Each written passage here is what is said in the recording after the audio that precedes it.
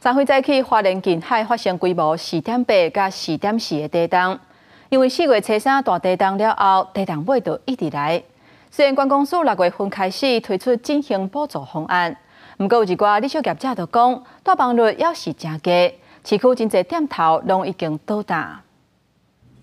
车子第九个冰星早起九点二十七分到二十八分，花莲近海发生水数规模四点八加四点四地震，数空山地震一条地震尾也重创观光。亲像花莲市中山路已经上路这金山高上宽，地震了关门倒斜店头愈来愈多，冰山店也只存网络订单来维持。深受观光客实地店面的头家上清楚，是因为地震吧？大家都不敢出来花莲啊！我看有很多地方贴出租了。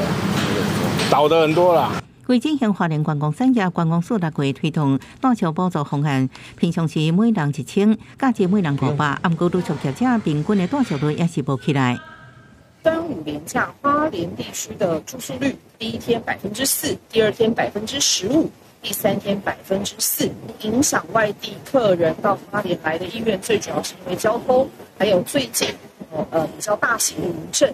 经济观光景点也为六月开始恢复开放，交通部长李明安也亲身去花莲骑脚踏车，翕宣传影片，也强调花莲目前正安全，也够研究进行补助的方案。